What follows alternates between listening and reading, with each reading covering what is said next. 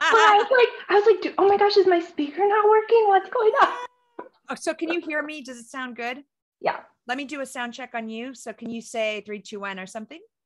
Check, check, three, two, one. How do awesome. I sound? You sound Okay. good.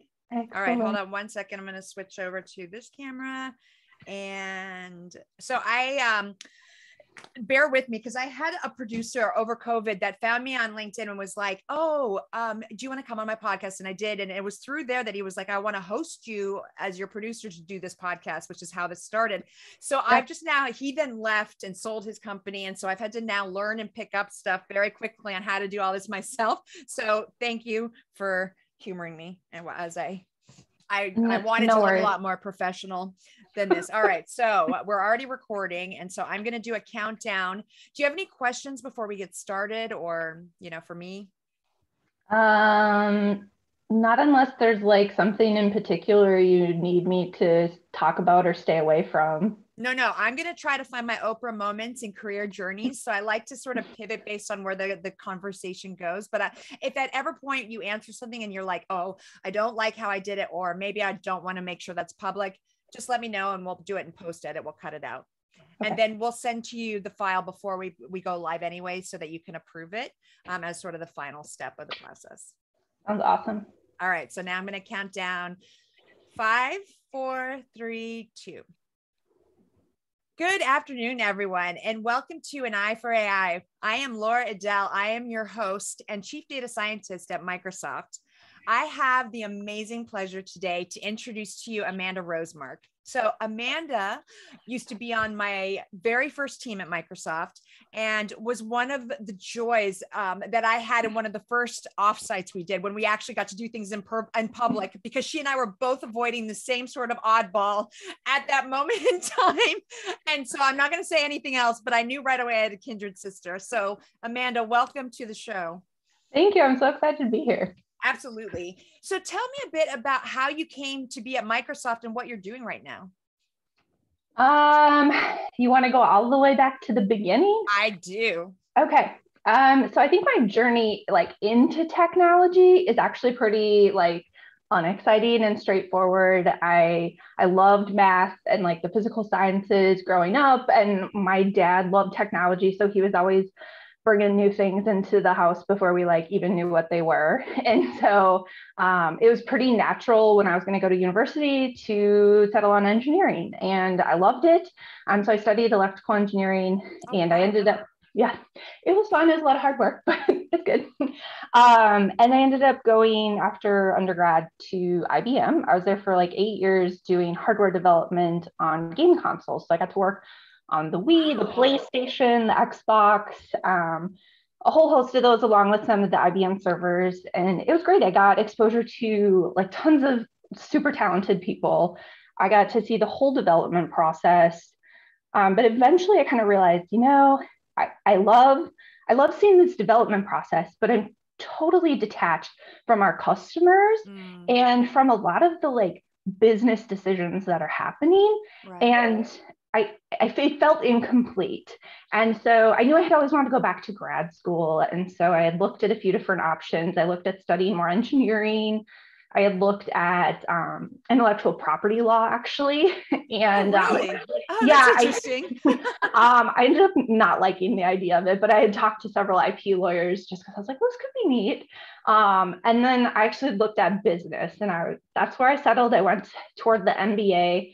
Um, it felt like a good blend of getting that like business knowledge Mm. paired up with my engineering and tech experience. Mhm. Um, and the great thing is, I landed at the Tepper School of Business, which is at Carnegie Mellon. So it was like a business program that was deep into technology and science, and it was just perfect for me.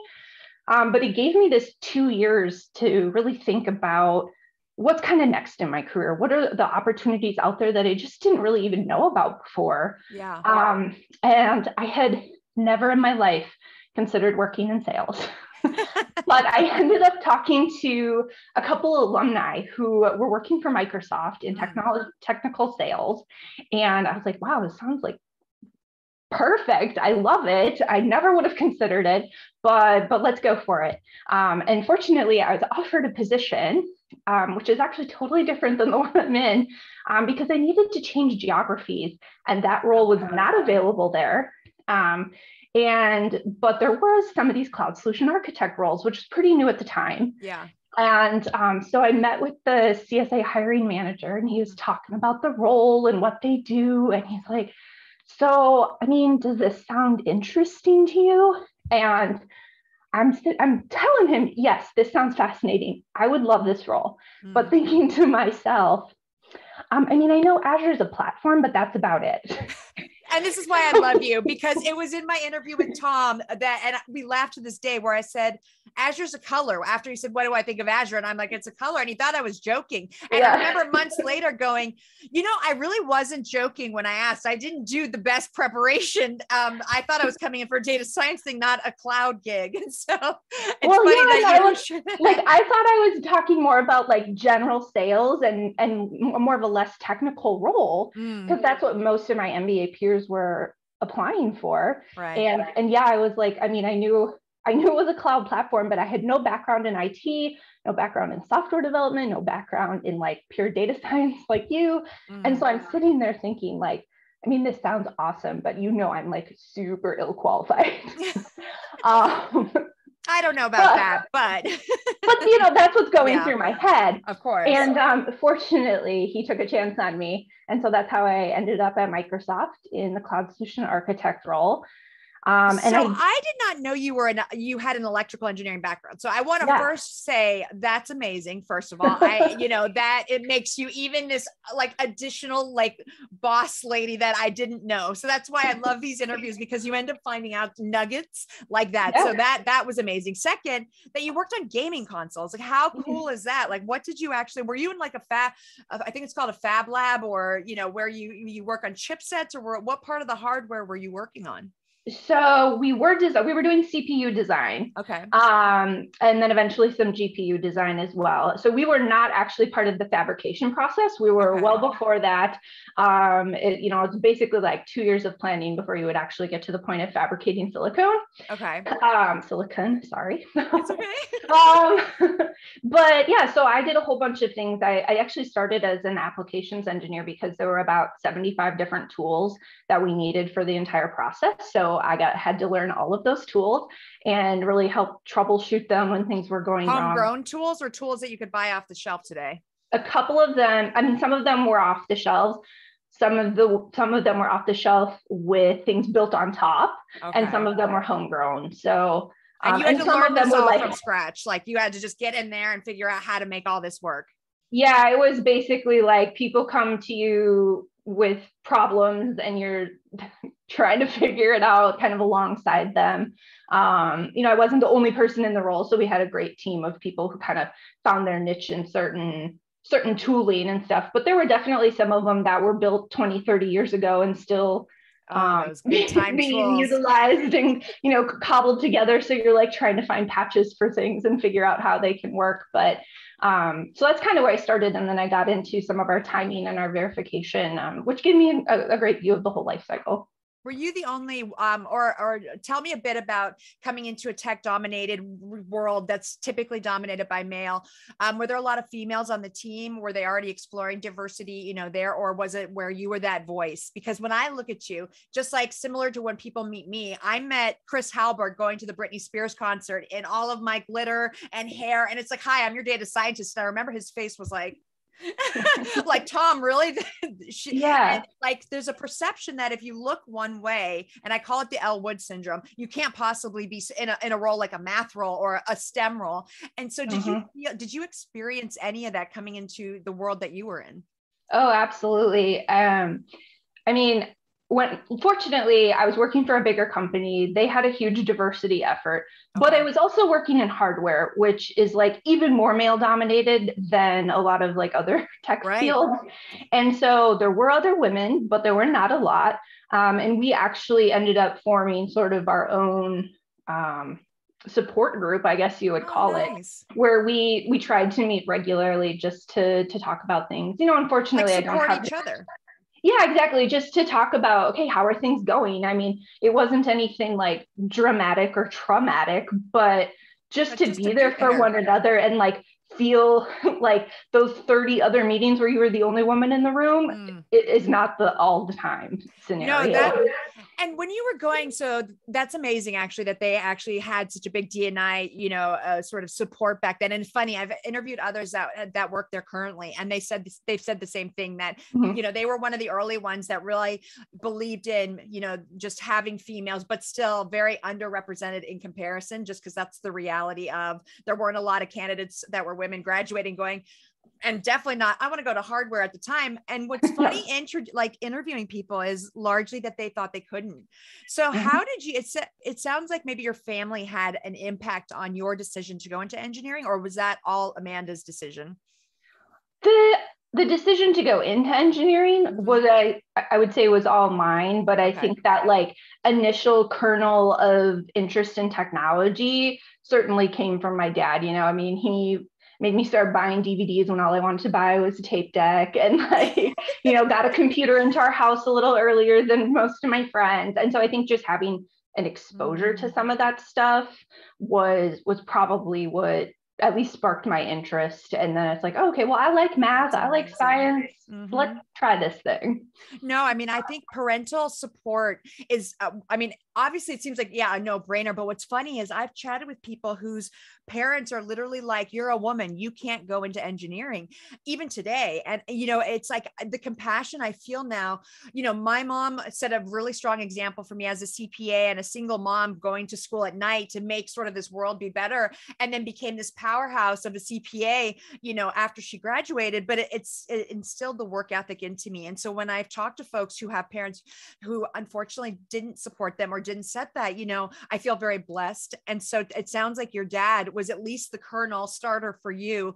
Um, do you have you ever just come back to him and said like, "Hey, thanks, Dad. Like, you know, I'm on this journey now, and here I am at Microsoft. You know, from something." Oh yeah, definitely. I think I've used. Uh, I've used him and his story to sort of talk about like, you know, on college applications, why do I want to be an engineer? So, oh no, I love um, that. yeah, he's definitely talked about it. But yeah, no, I agree with you. I think having that support system, I mean, it's ideal if it can come from parents, but I think even programs um, that try to expose women and young women, especially, to like technology and the opportunities that are there and create that community early yes. is so important. I mean, Absolutely. our careers are our entire life, right? Mm-hmm. And no one wants to, no one's particularly jazzed to jump into a career where they know they're going to feel like an other every day of their lives. Absolutely. so, I was just talking to my son's elementary school. I volunteer for both STEAM and STEM there.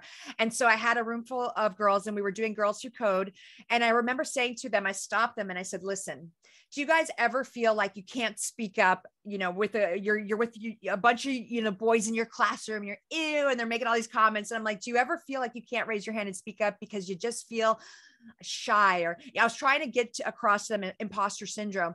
And, you know, when we finally found their, they found their words to explain it, they said, yeah, because, you know, that boy says I'm stupid or, you know, that boy says, I don't know what I'm talking about. And this girl said, yeah, because that boy says, I don't know math because I'm a girl. And I said, well, what did you say to that? And she said, and she, she stood up very tall and she said, I told him I absolutely do know math.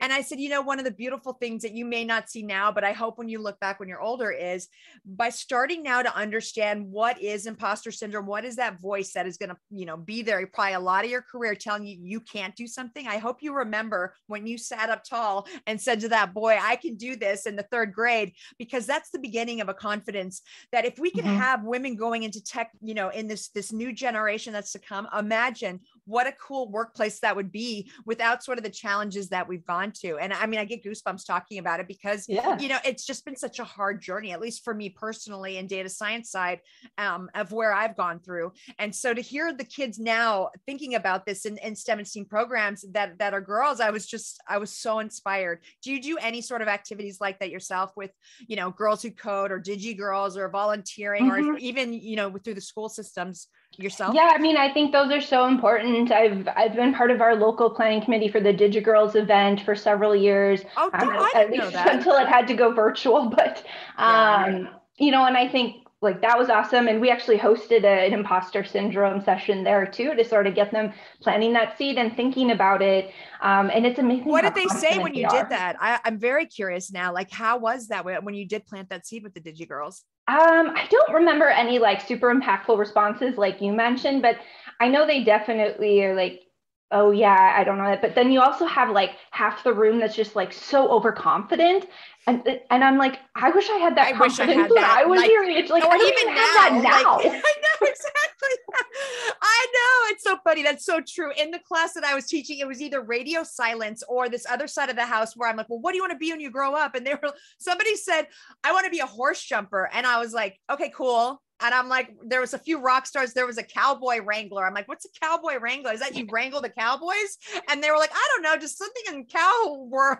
And it was such a, I was like, wow, when I went to school, there was a lot of doctors and lawyers and teachers. And, but like nowadays, it's like kids know that they can really be anything. And, and I think that's one of yep. the cool things that, that they're and learning, so that many- confident there's so many resources for them to learn about these opportunities, right? You're not limited to like, well, I go to the doctor and they seem kind of cool, so I guess I'll be a doctor. I mean, exactly. I've had responses where these girls are like, well, I want to be a cryptographer. I want to oh, work awesome. in like data security. And I'm like, I don't even like know those jobs existed.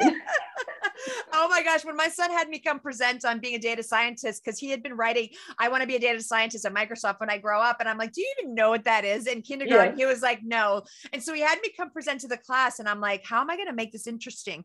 So I, I spent all night like, I'm going to do it with the Xbox. And I got in there and the kids in the room were like, oh, don't you mean work with algorithms? And I was like, oh, okay. This is a mm-hmm. whole other level. Like my family still's eyes glass over when I say algorithm. And you're actually asking me that. I was so impressed. Like, it's amazing. I mean, kids just nowadays, they instinctively understand. Like mm-hmm. when I started talking about my world, they can make the parallel to, oh, on Xbox, when things are recommended to me, is that what you mean? I'm like, exactly that. And mm-hmm. it was mm-hmm. just such a different world of talking about a role that I don't know, it, it got me thinking that what is it going to be next? Okay so once we fix this you know women in tech and girls coming into code you know what do you foresee that maybe some of the challenges might evolve into as they you know we get more and more women into the workplace?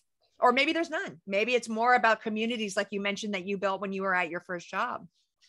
Well, I mean, I think there's always going to be differences, right? I mean, even, you know, you were talking about dressing a certain way, and I still a lot of times would get things like that where it's, you know, I, I like wearing dresses and blazers and and, and your glasses and... are fabulous. By the way, I hands down, I I have a, a secret obsession with glasses, so I pay attention, Me and too. those might be at least my favorite for the last six months. I mean, those are. Um, where did you get those? Those are amazing. Uh, I got them from Zeelool. What's Zeelool? Um, I don't know. It's an online it's like an company, online... and I found them because they were advertising like the kookiest glasses I'd ever seen, and I was like, um, I love these. They fit so. you so well. Like I was just thinking, you know, the, the embodiment of what you're wearing right now is exactly what my boss at my first job told me that, and that's how I dress, and that's what I love. And she told mm-hmm. me, you need to stop wearing that. You need to stop being mm-hmm. trendy But she also told me not to wear black because it's too sexy. So she told me to wear brown. And she grilled it into my head where, like, and she brought to work what looked like a potato sack. And I remember I took it home and I wore it. And I was so uncomfortable. And thus began years of feeling insecure in my own outfits because it's like I kept hearing that voice in my head. And so one of the things I've learned as I've gotten older is you don't have to keep all advice. Advice should be one of those things that can wash over you and inform, but you don't have to mm. hold it like a Bible. And so, you know, if you could tell your former self or, you know, going back to maybe your younger self, any piece of advice about anything, what would you tell young Amanda? Um, oh, I was so naive. There's so many things. um, no, I think it would probably be first and foremost um, just to to sort of recognize and do your best to ignore that inner bully that you know we talked a little bit about imposter syndrome mm. and I, I don't think i knew what that was when i first started my career and when i was younger yeah. and so just sort of recognizing that and then I mean, it's always going to be there. You're never going to get rid of it. But I think if you can recognize it, that voice um, is always here with me. I'm like, yeah.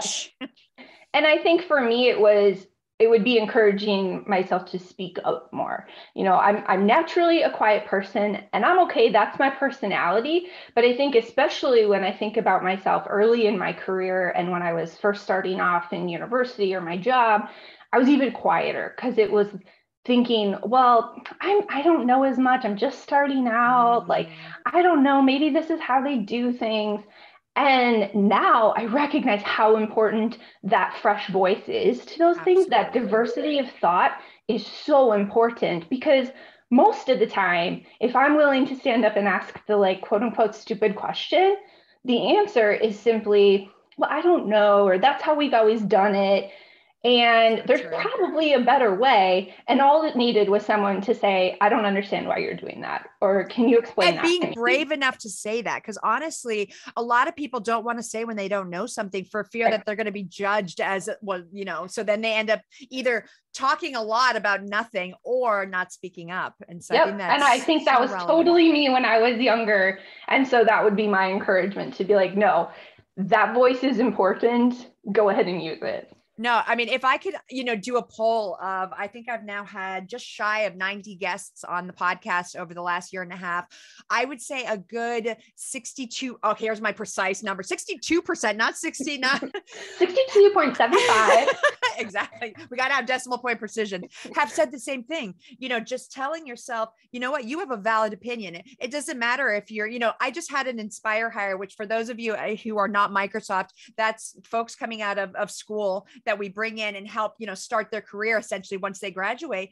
But she she said to me what do i have to add value to this meeting? I'm just an inspire hire. And i'm like i like pump the brakes right there. Like don't just discount who you are. You put that just in there and immediately I was going to say, you need to eradicate just from your language right now. and it was so funny just saying that to her. I could see mm-hmm. a little bit of more like pride coming in. And I said, you know what I learned from what you said prior to that? And I told, like, I recanted what she had said. And I'm like, no matter how many years of career experience you have, whether you're Inspire Hire or whether you're the CEO, you learn from each other. There's reverse mentorship, there's the mentorship, and you just learn. If you're not open to learning, then you shouldn't be in the position you are, period.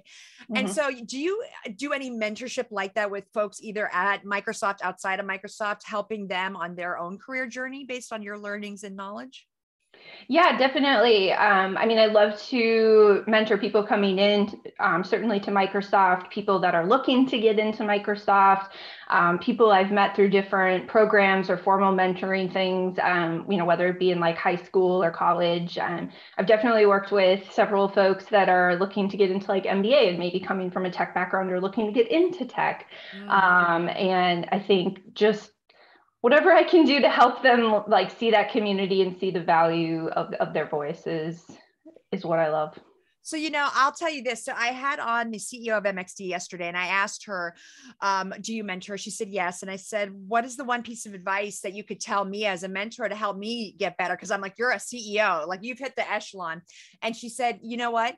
One of the greatest things I can say as a mentor myself is that I can't take on any more people, but you know what I can do for the next person who asks me and is brave enough to say, Hey, Chandra, will you mentor me? And I have to say no, but I can say no, but go help find another mentor for them. And I was like, that simple, like, you know, step that I hadn't even thought of myself, where if you can go mm-hmm. then have the recommendation to then open the door and say, okay, they were brave enough to come ask me, and I unfortunately can't do it myself, but hey, I'm pairing you with somebody that I recommend, you know, then that person who's taken that chance doesn't now suddenly feel like they don't want to ever ask anybody else because of the no.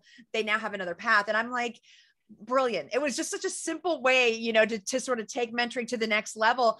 And it was interesting. As we were talking, I kept asking her, Well, do you have imposter syndrome? You're a CEO. And she was like, You know, it's funny. I feel like you're putting me on a pedestal. And I was like, I guess I am a little. I'm, I'm a little fangirling here. And she's like, Of course I have imposter syndrome. And I was just, I was profoundly blown away by her honesty. Would you think that in your experience in the workplace, that the more you're connected to your honesty and authenticity, the more it resonates with others, even when you have to say the hard truths of what's happening, or maybe you can't support them or do something in a project, but that the more authentically honest you are with them, the better it is for outcomes? Or do you fall in more the sales side, not knocking it, where you just sort of say what maybe they want to hear? Um, so I think by nature, I'm a people pleaser. Okay, so am I. not to the not to the point where I want to just say what they want to hear. Yeah. I I want to do it in an in an honest and authentic way, right? And so maybe that's saying I don't have the answer for you. Exactly. But I will help you get it. Exactly. And and I think that's sort of been what's worked for me, um, at, certainly in my most recent roles in career.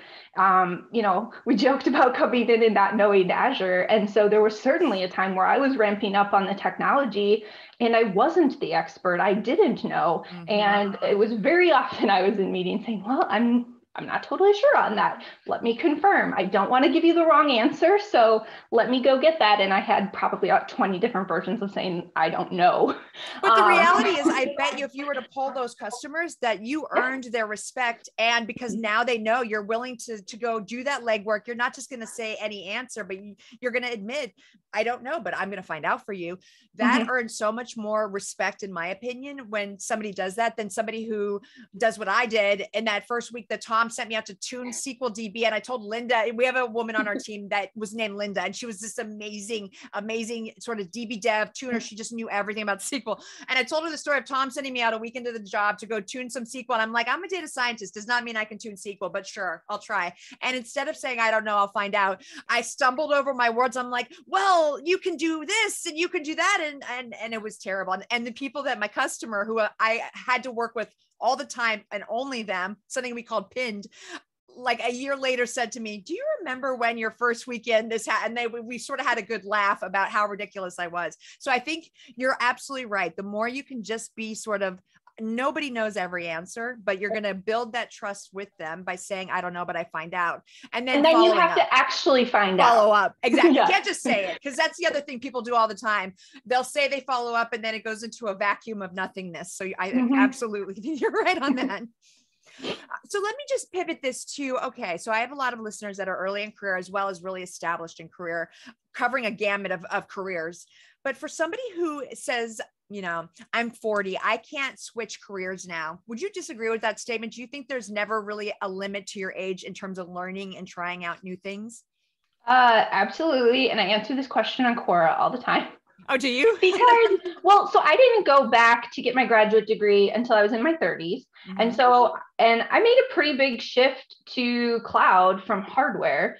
Um, you know, I mean, it was still within tech, but I, I had no career background and knowledge to really support me in that. Right. Um, but that doesn't matter right like you might make a few sacrifices in in how quickly you're able to climb the ladder whatever but if it's going to be something that's going to you know be a rewarding career for you and it's what you want to do go for it.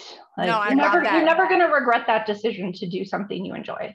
Have you ever taken so in your career um, were those the two primary jobs that you've had was the first one we've talked about and then a, a microsoft or did you have any other sort of small deviations along the way of trying things out um, those are really kind of the big two steps. It was kind of before and after grad school. Um, I did an internship while I was in grad school with Intel in their strategic planning org because I kind of wanted to try okay. that out, um, which was which was interesting, but okay. but I ended up not taking that direction. But um okay. yeah i think like that was the value for me in grad school was having that like dedicated two years to sort of talk to different people try different things and have that exposure to things that I maybe didn't realize I could try before. And would you say to somebody who's thinking about grad school that grad school was well worth the time, commitment, and money that you went through? Or would you say now that you've been in your career that, you know, grad school, it wasn't? Because I've had some really interesting answers from people on that question. For for me it was um, but i didn't make the decision lightly. I i ran all the numbers. I gave all the thought to what i wanted to do. Um, and i and i get asked this question a lot too when people are thinking especially about the mba in particular. It's like well well what do you want to do? And now there's so much more flexibility too to be able to do part-time things. Um, you're you know older in your career to be able to do like executive programs and things like that. So there's so much more flexibility to maybe achieve that in parallel to what you're doing. Um, but but for me, it certainly was. Um, but like I said, I didn't I didn't make that decision lightly. So no, I think it's also a really interesting one because I think an MBA may be different than some other master's programs. I think there is such tremendous value in, and I don't know that I don't have an MBA. Mine was in more of a master's side, but you know, would you say that to, to help align you for what career was going to really be like in the enterprise? And I use the example of like an MSR research PhD versus a PhD who's now been practically building stuff for customers. Those are two very different vantage points of a PhD. Very valid in the right, but it's going to take two different types of people typically for those roles. Would you say that in your MBA, it really enabled you to be able to step into more of a business role successfully coming out of school, or did it enable you to do that specifically? Um, I think it both enabled me just in knowledge and preparation and confidence that I know how to do certain things and I understand why certain business decisions are being made. Yeah. I think it also enabled me in that it actually gave me exposure to this. I, you know, I came into Microsoft through university recruiting. I'm oh, I didn't know that. Sure, yeah. Um, so I, I, mean, I'm pretty sure that my resume popping up for a cloud solution architect role would have been completely ignored before. Mm-hmm. Um, but I had the advantage of coming in through this MBA recruiting process, having additional contacts, um, being exposed to alumni who were working this kind of job and um, could get me contacts and things like that that I maybe wouldn't have had mm. before that networking piece is another thing that comes up quite often. Um, so, would you eh, agree then that having that network and honing and cultivating, starting from school, is something that then becomes very valuable when you're calling on it, looking for a job when you graduate? Is that something that it sounds like in your experience that your alumni, that that side of the house became important to helping you land what you wanted to do? Yeah, I mean, I think there's there's a reason people say network network network and it's it's all about the network um, but i think the caveat i would make to that is it's important to make sure that you're doing so from a genuine point of view i've mm-hmm. met a lot of people that are tackling building their network and they're doing it just to gather business cards gather names and be able to call on them for help but they haven't established a relationship making that person want to help them That's um, so and valuable. so i think you want to build your network in a very thoughtful, strategic way with people that you maybe naturally connect with, that um, want to help you, um, and make sure that you're giving something back to them. Right. Um, you know, you know, we talked about diversity of thought. Maybe you can give them ideas. There's things you can kind of reverse mentor. Um, there's there's so much opportunities, but I think just generally staying genuine in how you're networking is really important. And so, for those of you who don't know, like what they're wondering what reverse mentorship is, it's where, you know, as a mentor, you know, and you have a mentee, they learn a lot from you, and you're like, great. Well, in return, we as the mentors learn a ton from the scenarios and stuff that a mentee is going through, and that is reverse mentorship. Mm-hmm. Which one do you think is actually more powerful? The the mentorship, so I'm learning, I'm hungry, I'm here, I'm learning, or the reverse mentorship of what you gain from the mentee you work with?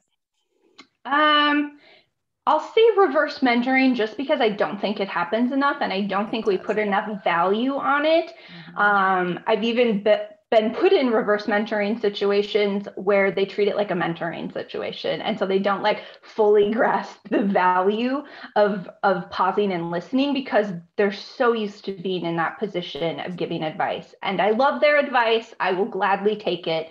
Um, but there's there's a value in making sure that you're you're listening to what's happening um, and there's things that you know you talk to someone in a vp level or a c suite you know they have the power to change things that somebody else like myself maybe you know in an individual contributor role doesn't have but they're probably just not even aware it's happening and so mm-hmm. those reverse mentoring opportunities inform them of what's going on and, and what people are experiencing no, I think that's very valid, Amanda. I, you know, one of the things that I love about you is you are very fresh and honest when I ask questions. And and I, you know, while we never got to work together, you know, and Shannon and I, so Shannon is one of the biggest supporters of this podcast and and one of my my greatest friends. You know, I've spent a lot of time in Chicago with her and her wife, and we talk a lot about you, you know, and we talk a lot about those on the team that were, you know, just so amazing to supporting us as as people, as careers and people that we want to help then. And I think to the point of the network network,